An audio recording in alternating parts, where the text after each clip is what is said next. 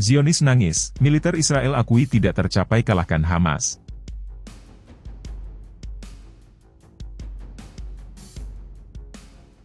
הוא טועה.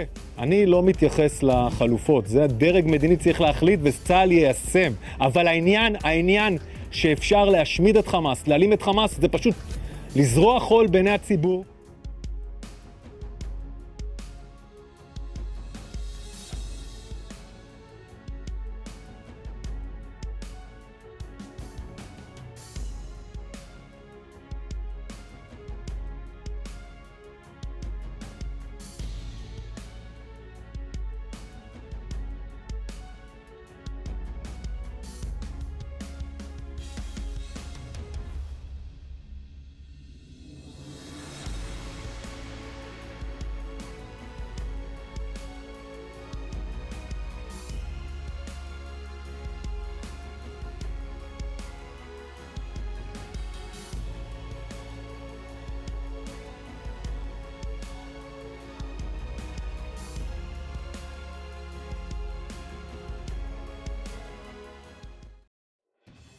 Militer Israel mengakui tujuan perang mereka untuk memberantas kelompok Hamas di Gaza tidak mungkin tercapai.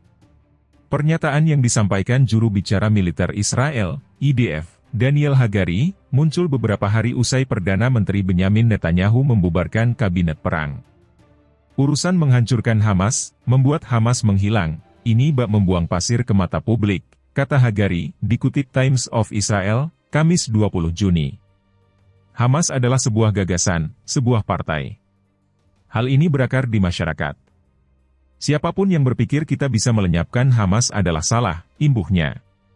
Hagari juga memperingatkan, jika pemerintah Israel tidak menemukan alternatif untuk memusnahkan Hamas, maka kelompok perlawanan itu akan tetap ada.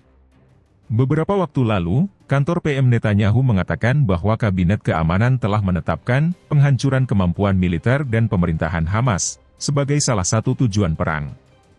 Pasukan pertahanan Israel tentu saja berkomitmen terhadap hal ini, tambah pernyataan itu. Mei lalu, Menteri Pertahanan Israel Yoav Galan mendesak Netanyahu untuk merancang tata kelola wilayah Gaza pasca agresi.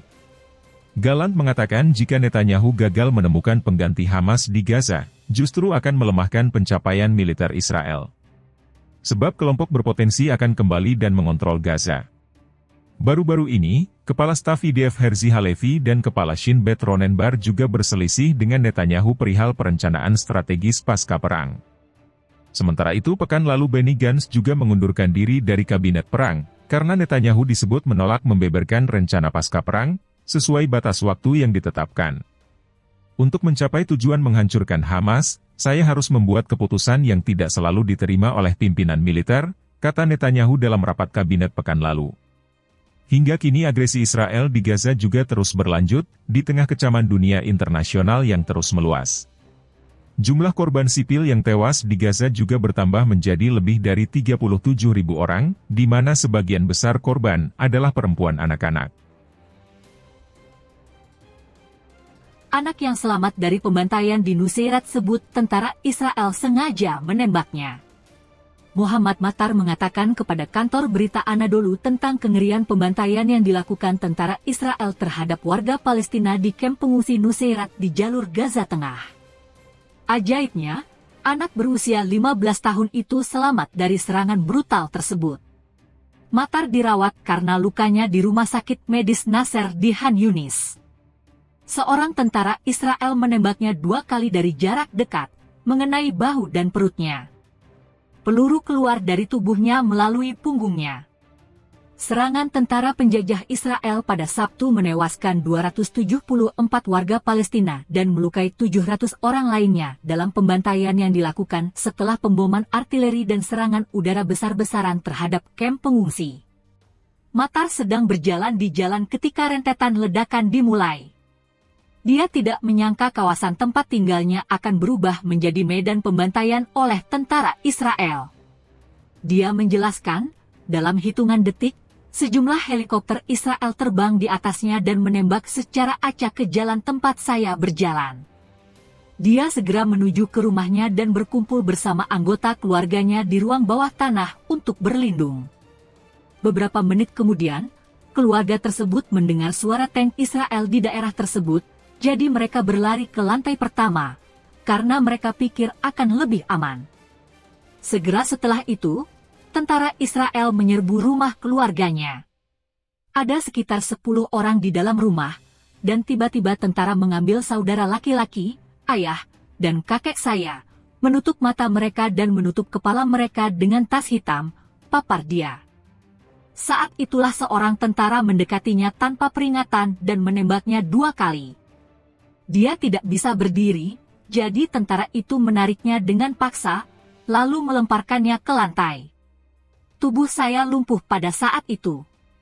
Mereka juga menembak adik laki-laki saya dan membunuhnya, dan bibi saya juga tertembak, ungkap anak itu. Matar mencontohkan, mereka yang terluka dibiarkan mengeluarkan darah selama lebih dari setengah jam sebelum dipindahkan ke rumah sakit. Dia juga mengatakan tentara Rangers as termasuk di antara pasukan Israel. Lencana itu ada di pundak mereka, papar dia. Muhammad Al-Samouni yang berusia 9 tahun juga selamat dari pembantaian Nusairat. Dia terluka di tangan kanannya selama operasi militer Israel. Kami sedang duduk di tenda tempat kami mengungsi di camp, dan tiba-tiba kami melihat tank dan tentara Israel di depan kami, ungkap dia. Seorang tentara melemparkan bola peledak ke arahnya, yang menyebabkan luka parah di tangannya. Ayah dan saudara laki-lakinya tewas seketika, namun anak tersebut tidak dapat memberikan rincian lebih lanjut.